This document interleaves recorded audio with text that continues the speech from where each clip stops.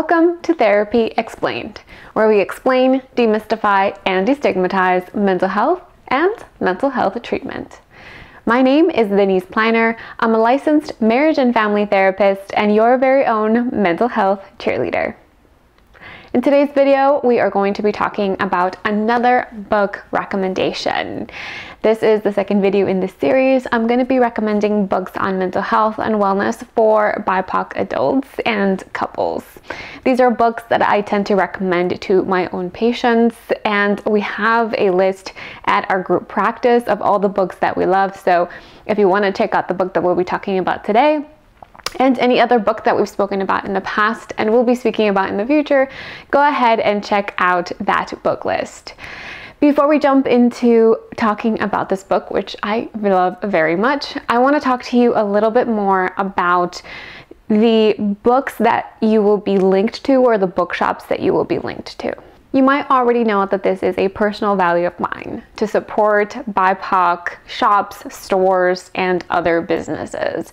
And as a way to do that, I myself, as well as my group practice, have decided to create links to books on our website um, so that you can buy from small independent bookstores. So if you ever decide to purchase one of these books, our main purpose really is to help you learn and grow. Wherever you purchase that book is up to you. If you purchase that book is up to you.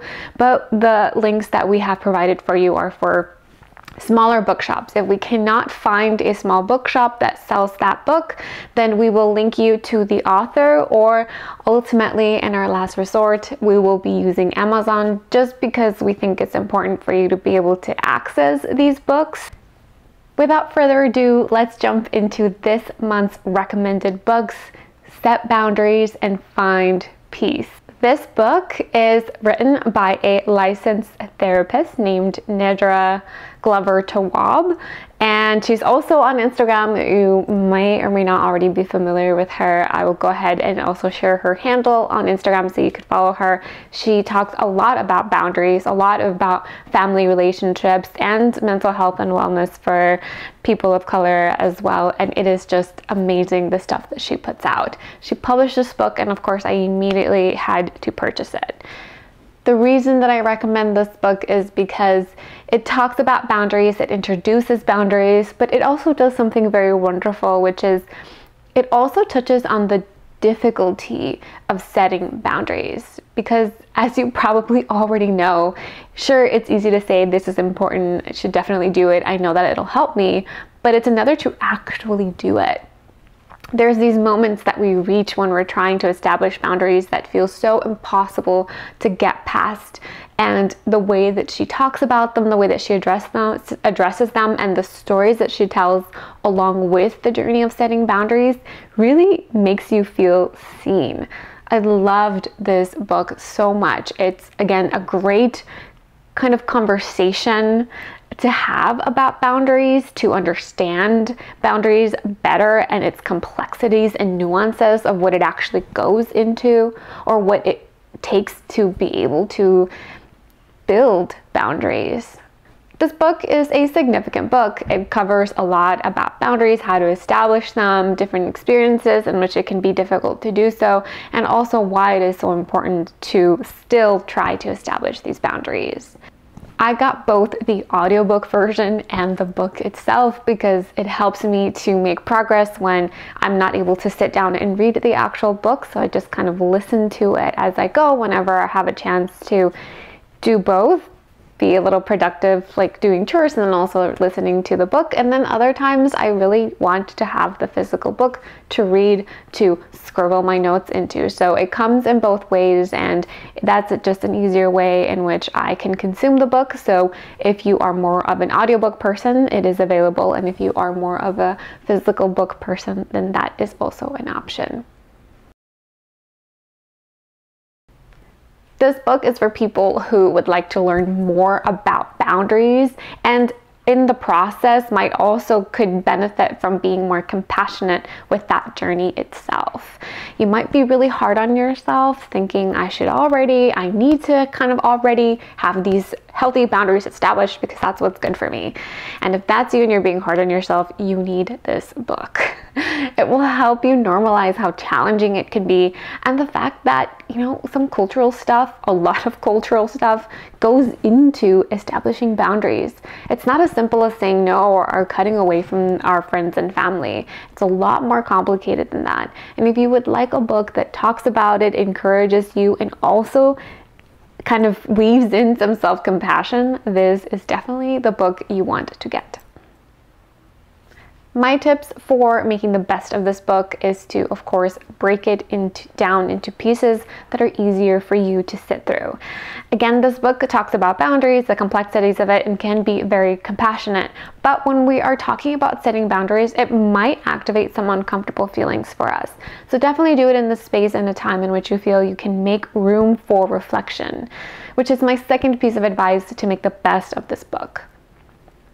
If you're choosing to read just 10 15 minutes a week or a day or whatever it is, the amount of time you're dedicating to this book, and you want to take it one step further, I encourage you to journal and reflect on how you felt about what you heard or read in this book. As you know, I strongly believe that engaging in reflection of the experiences that we have had helps us gain insight and awareness to how the outside world is affecting us and how our internal world is affecting the way that we engage with others. So if you're reading this book and things are coming up for you, pay attention to that, process that, soothe that if it's something uncomfortable, and it'll help you continue your journey in boundary setting.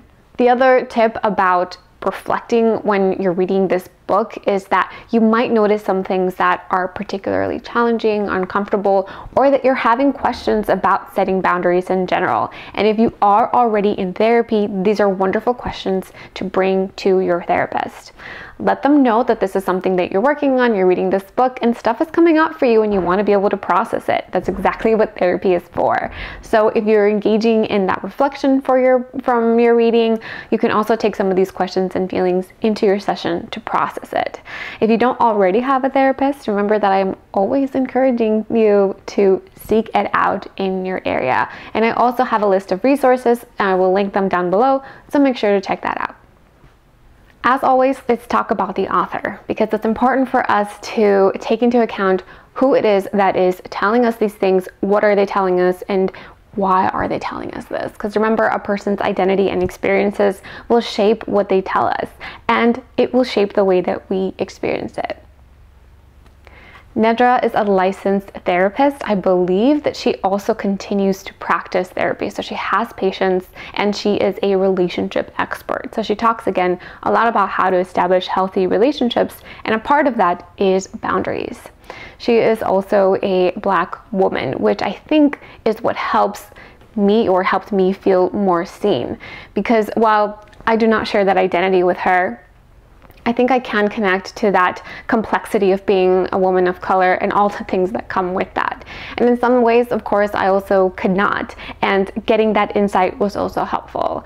But I really appreciated the way that she talks about boundary setting. And I think that her identity, not just as a black woman, but also a licensed therapist and someone who has had to go through this journey herself, that makes it so much more helpful to write and to read. So about boundaries. And so when I'm listening to this book and or reading this book and I'm looking through all these experiences, I think that I felt very seen and heard because of all of that, because she's had her own journey, because she works with people who are going through this journey. She supports people through this. She talks about this all the time. Again, she's on Instagram, and so she's constantly sharing information about this and her perspective on establishing boundaries, and that's important.